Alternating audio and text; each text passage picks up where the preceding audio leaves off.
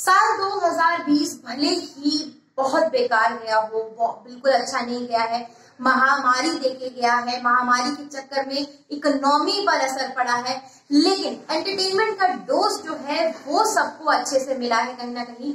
और जिस तरीके से डिजिटल प्लेटफॉर्म पर कई बड़े बड़े एक्टर्स ने जो है अपना डेब्यू किया है। तो मैं आज आपको बताऊँगी इस वीडियो में ऐसी कुछ वेब सीरीज़ जो कि साल 2020 में रिलीज़ हुई है और किस किस ने डेब्यू किया है और आपकी पसंदीदार कौन सी रही है? नमस्कार, मैं गुरुदन ठाकुर और आप देख रहे हैं बॉलीवुड हेडलाइन शुरुआत करूँगी पहली वेब सीरीज़ जो आपको मिली थी डिज्नी हॉटस्टार पर देखने के लिए, जिसका नाम है आर्या. बता दू आपको कि ये वेब सीरीज़ जो है, इसमें पहली बार सुष्मिता सेन ने जो है अपनी वापसी भी करी थी कम वेब सीरीज़ भी थी प्लस यहाँ पर डिजिटल प्लेटफॉर्म पर पहली बार भी नज़र आने वाली थी. और ये वेब सीरीज़ 19 जून को देखने को मिली थी। और इसको डायरेक्ट किया था और इसको तीन लोगों ने डायरेक्ट किया था। एक नहीं बल्कि तीन लोगों ने डायरेक्ट किया था जिसमें से राम माधवानी और संदीप मोदी और साथ में विनोद रावत। इन तीनों ने मिलकर इस वेब सीरीज़ को डायरेक्ट भी किया था।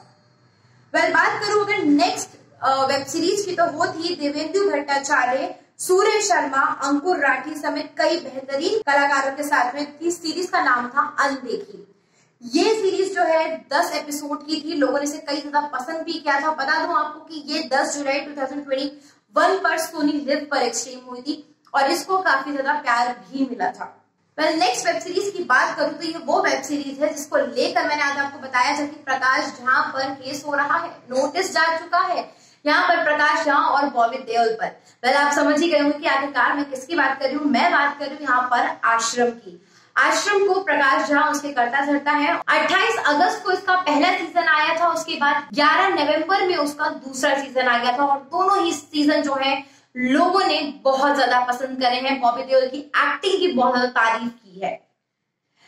वेल नेक्स्ट यहाँ पर वेब सीरीज़ आ जाती है ब्रीद टू जी हाँ ब्रीड टू इसलिए क्योंकि अभिषेक बच्चन ने डेब्यू किया डिजिटल प्लेटफॉर्म पर प्लस उनके साथ में अमित साध और नित्या मेनन भी नज़र आई हैं। आपको बता दूँ कि 12 एपिसोड की ये वेब सीरीज़ थी। साथ ही 10 जुलाई को रिलीज़ हुई थी एमेजोन प्राइम पर और लोगों ने इसको कई ज़्यादा पसंद किया है, काफ़ी प्यार भी दिया है इसे और क्योंकि अभिषेक बच्चन की जो एक्टिंग है, उसको काफ़ी ज़्यादा सराहना भी मिली थी। बता दो कि इसी वेब सीरीज़ की जो ये होने वाली थी स्ट्रीमिंग होने वाली थी, उससे कुछ समय पहले ही अभिषेक बच्चन जो है, वो कोरोना पॉजिटिव पाए गए थे, शायद उसके आसपास ही पाए गए थे। क्योंकि उसका जो डबिंग वर्क था, वो बाकी था।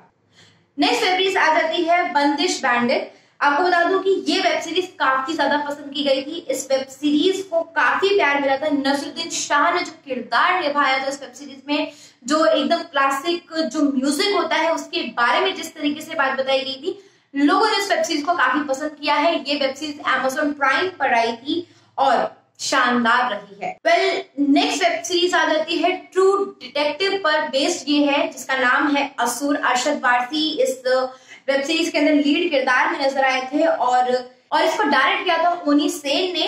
दो मार्च को आपको ये देखने को मिली थी वोट सेलेक्ट पर।